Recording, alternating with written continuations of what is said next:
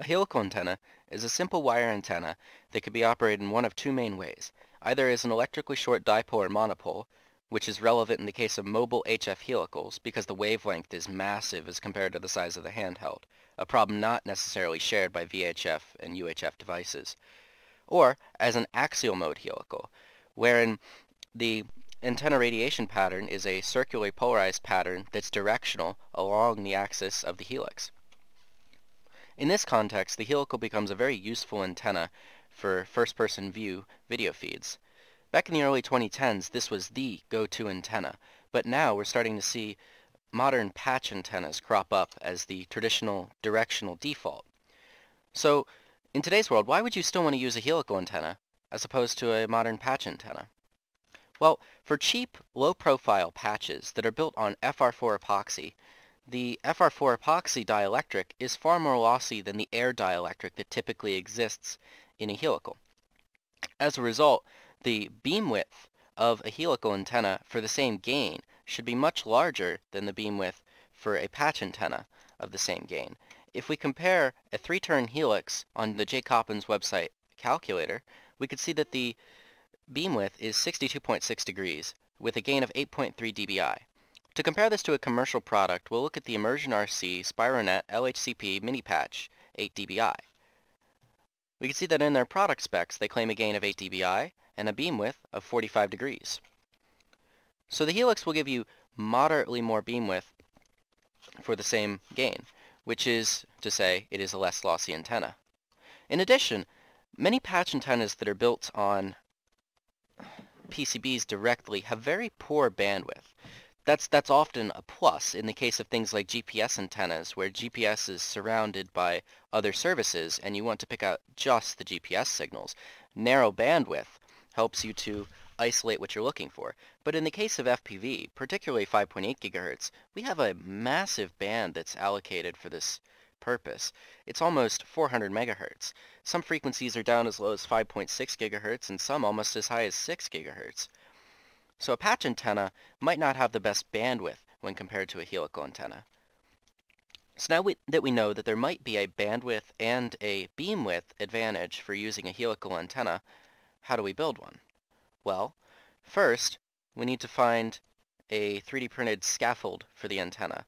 So this is a OpenSCAD project on Thingiverse where you can customize the size of a helical antenna to make it for any frequency that you want. Most people make them for 5.8 gigahertz FPV, but you could, in theory, make this for 1.3, 2.4, even 3.3 gigahertz, or 3.4 gigahertz, whatever the band is in your country. So all you need to do to use this file is download the OpenSCAD file, open it up, and then specify the parameters. In this case, we're going to be building a 5.8 gigahertz right-hand circular polarized 5-turn helical antenna. So I'll need to input the relevant parameters from the J. Coppens calculator for a 5-turn helix. So if we go back to the calculator, 5800 megahertz will be our center frequency. 5 turns that tells us that we're going to be getting a gain of 10.27 dBi, a beam width of 48.4 degrees. Now, the relevant parameters for the program, we need to know our total antenna length, which is 59.4 millimeters. That goes in the L variable here. We need to know the diameter of our wire. I'm going to be using 2 millimeter diameter wire, so I'm going to print the holes with 3 millimeters of diameter so that there's a little tolerance. You want to go at least one millimeter over the size of your wire so it's easier to thread the wire into the scaffold. Then we need to know the diameter of the helix, which is 17.5 millimeters, the number of turns, the polarization, and we need to tell the program what to print. In this case, I already have a jig for winding the coil, so I'm just going to print the frame. But if you weren't just going to print the frame, you would have to specify everything as opposed to just the frame, and then it would compile with the jig. And this is what you would use to wind the wire. So once we download that file and generate an STL, which can take quite some time because I don't think that OpenSCAD actually has GPU acceleration, so it tries to generate the STL on that complicated file all using your CPU. It, it, can take upwards of 10 minutes depending upon how large the mesh is. We'll take that and bring it into our favorite slicer, Prusa Slicer. And remember, I'm printing the version without the jig. This part needs to be precise in the vertical, uh, uh, sorry, in the horizontal more than the vertical. So you can print at a pretty high layer height. I'm printing at 0.3 millimeter draft quality with 20% infill, and this worked pretty well for me in PLA. Print times on the order of 50 minutes. So we export the G-code and print it, and then we'll get on with the construction. So for our build, you're going to need the following. The 3D printed helical antenna scaffolding, the 3D printed wire winding jig, some RG402 coax, which is great for the solder type SMA connectors, a solder type SMA connector of your choice, either RPSMA or SMA, typically male, a piece of heat shrink tubing, some copper clad FR4 board. I like the double sided stuff because it gives a better mechanical connection than the single sided one, and some super glue. So first you need to take some copper wire. This copper wire is about two millimeters in diameter. So I size the holes in the coil supports for three millimeters and insert it into the jig for bending the coil. This is a right-hand circular polarized jig. You'll have to make sure that you have the right-hand one and not the left-hand one if you're making a right-hand antenna. And just coil it around, following the grooves.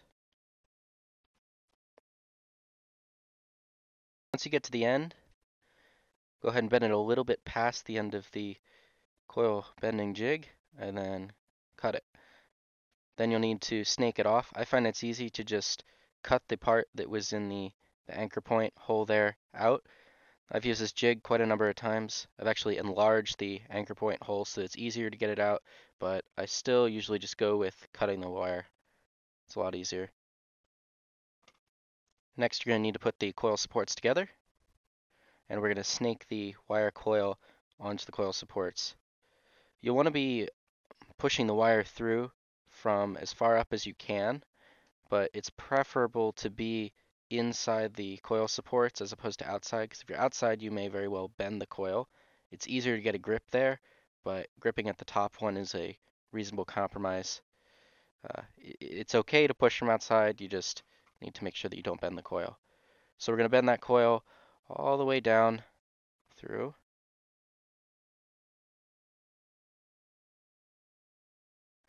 So once you snake the wire on there, you want to make sure that the end of it is on the side of the base that does not have a protruding support leg. And then we'll move on to the next step, which is sizing the reflector. So I'm using double-sided uh, copper FR4 board for this reflector. You only need single-sided, but double-sided makes it easier to get the coax to have a grip on the board. Here I am measuring the reflector size there. Uh, it does measure to the outer bit of the base. Now I'm going to first measure a larger reflector, I think on the order of 35 millimeter, and then I'm going to cut it down to size at the 31.5 millimeter mark, which is the minimum given by the calculator.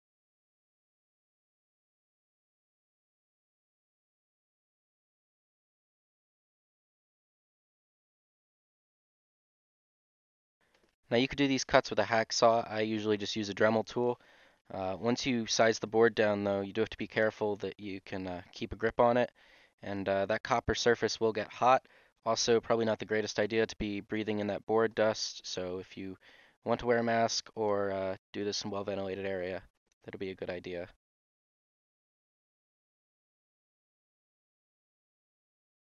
So here I am making the more precise measurement of 31.5 millimeters, and then I'm going to trim it down again.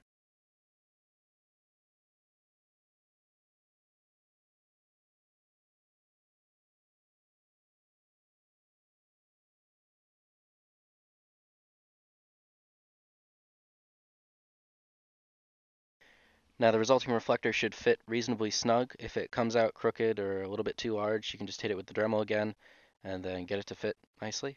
Next I'm going to check to make sure the base plate fits on there good. You can see that everything looks fine. And now we're going to have to drill the hole for the coax connector. So I'm just going to mark that spot with a pencil and then we'll start at a relatively small sized drill bit. I think I used a 5 64ths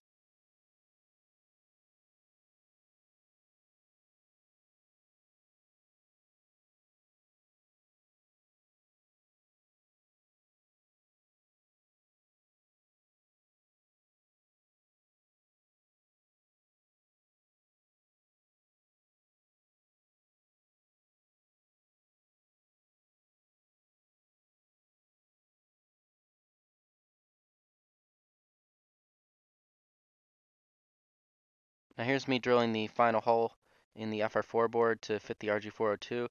Size came out to 9 64ths, which is just over the 0.140 inches that the outer diameter should be, as according to the spec sheet. So now we have to measure the length of our transmission line, approximately. I'm going to oversize it a little bit, but I'm going to go for a full wavelength transmission line at 5.8 gigahertz. So that's going to be 5 centimeters long, thereabouts. So I'm measuring just a little bit longer than 5 centimeters, and then I'm going to cut it down to size when I put on the final coax connector.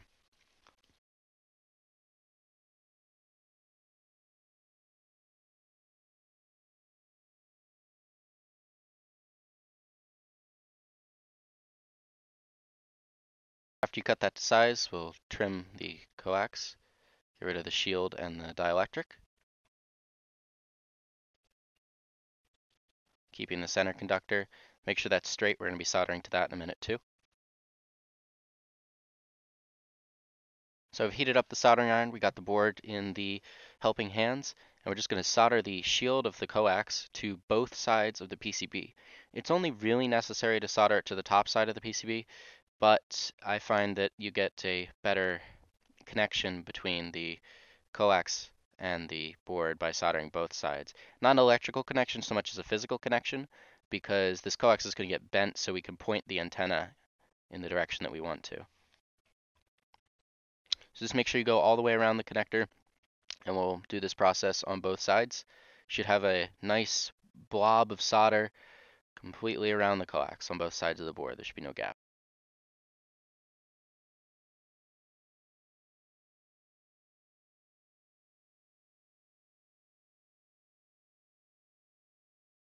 Next, it's time to fit everything together. So I've checked that the board fits in the reflector holder, and now I'm going to place the coil assembly into the reflector holder. You can see that those three legs just kind of rest in there, and they're going to grab onto the FR4 board right there. It's just going to slide in. Make sure that the coax connector is on the side that does not have the leg,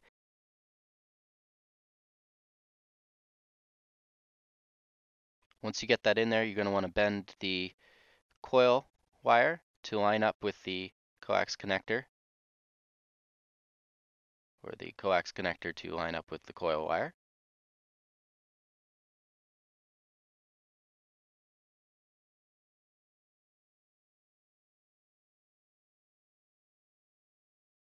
And then go ahead and trim any extra length from the coax connector center conductor or the uh, copper coil.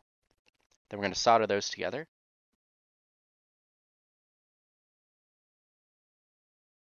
Now after you've got that soldered together, you're going to want to make sure there is not a short between the center conductor and ground.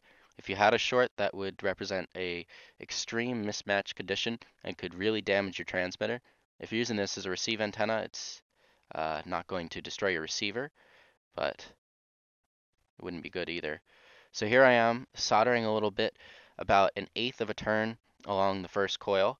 I'm just tinning that spot because we're going to be soldering to that the IB Crazy wave trap matching network right there. So this is a matching method. It's going to get our SWR down from around 2 to 1 to 1.5. IB Crazy pioneered this a number of years ago in the early 2010s. So what it is is a 1 16th by 1 8th wavelength uh, piece of metal that gets soldered one eighth of the way on the first turn of a helical antenna like this. Why does it work? I honestly have no idea. I simulated it in HFSS and it did work to some extent. It brought my simulated SWR down by like 0.5 from 2.3 to like 1.8 uh, on the antenna I had. I wasn't feeding it exactly right, which is why I think that the SWR was higher than the real world performance value but it does work. It's magic.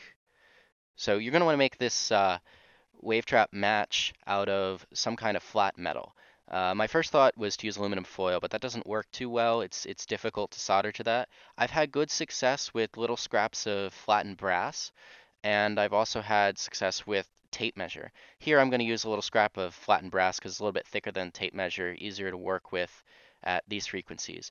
So an eighth wavelength by 16th wavelength at 5 gigahertz, 5.8 gigahertz is going to be 3 by 6 millimeters. So this is pretty small. You're going to want to measure it with a caliper. I found the best way to uh, make this is to just go at it with a Dremel and a pair of pliers until it uh, sizes up right on the caliper. So I'm going to go ahead and do that right now, and then we'll solder it on.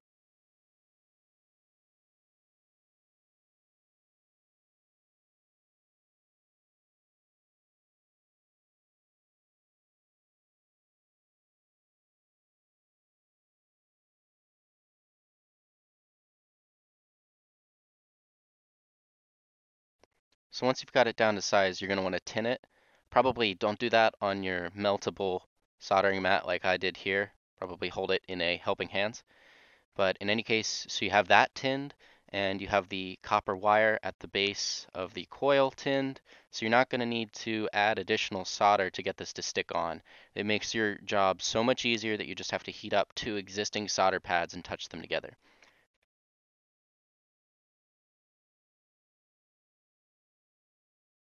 Here I am just applying heat to the coil and heat to the brass patch and we'll get that to stick on there in just a second. You want to make sure that you don't apply the heat for too long. So if you're not getting it to stick after a couple seconds, you want to take the heat off and try again in a little bit because that PLA that we've printed this out of will warp if you heat the coil for too long.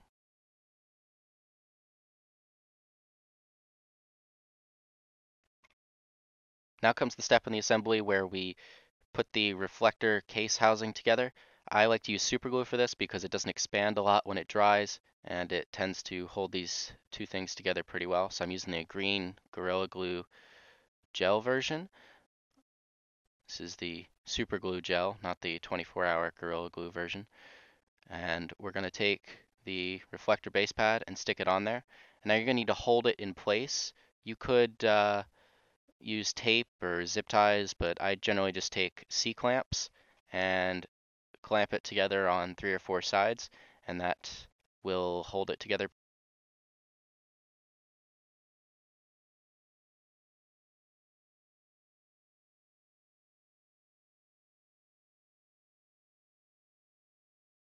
So now we're back here after that glue is dried, and I'm just going to check to make sure it's together.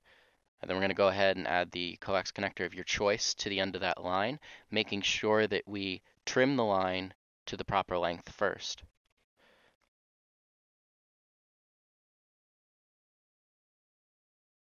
So here I am measuring the line. Remember that we're going with a full wavelength in this case, so we have plenty of bending room. So that'll be five centimeters. The way to measure this is that the coax, where you have the complete coax cable, should be five centimeters long. So the center conductor doesn't count as part of the length, just the coax. So you want to make sure that you measure from the point where the coax touches the reflector and converts into just the wire. And now we'll start the process of soldering on an SMA connector. In this case, I'm using a normal SMA because these will be going on my Attitude V5s, which have a normal SMA female on them. This is different than the RP SMA. The RP SMA on the screw side of the connector has a hole, and the normal SMA connector has a point. So you want the point and then the screw connector part. So here I am soldering the center conductor connector piece of the male SMA connector. So what I did is I tinned the center wire and then I just heat it up and I use pliers to stick the connector onto the center conductor. If it doesn't go in all the way, you can pick the antenna up and uh, heat it up again and push the center conductor against a metal surface. That tends to help sometimes, and I ended up having to do that.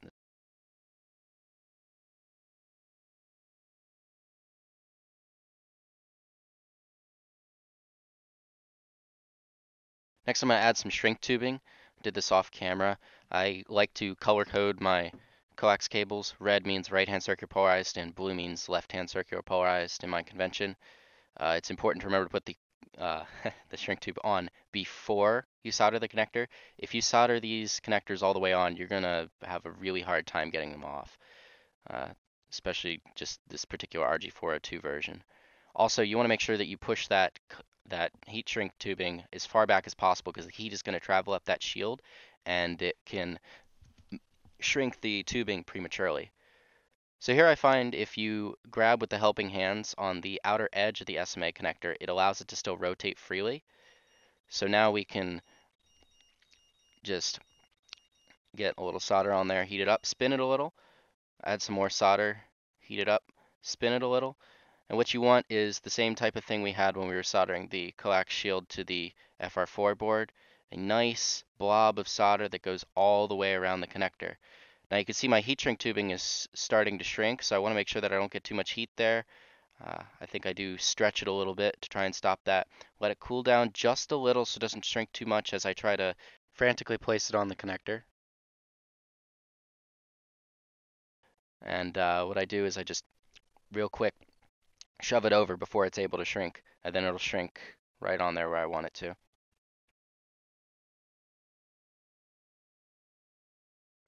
So this is our final product, a one wavelength transmission line, five turn helical antenna with IB Crazy wave trap matching for 5.8 gigahertz, right hand circular polarization. While I'm getting the goggles, a couple things to note. If we're going to put this antenna on a receiver, we have almost nothing to worry about other than getting a bad signal. There's no significant power going to the antenna, so we're not going to damage something that's connected to it. If you're going to stick this on a transmitter, however, you may want to either invest in directional couplers or an SWR meter for the frequency you're using so that you can make sure it's a good matching before you possibly subject your transmitter to lots of reflected power. Alternatively, you could test it and see how well it works as receiving antenna, and if it works significantly well, then it's probably a good matching anyway, and I'd be willing to chance it on cheaper video transmitters. Now we'll go ahead and attach that to the goggles, and here's the result. If you like this video, please consider leaving a thumbs up or subscribing for more content.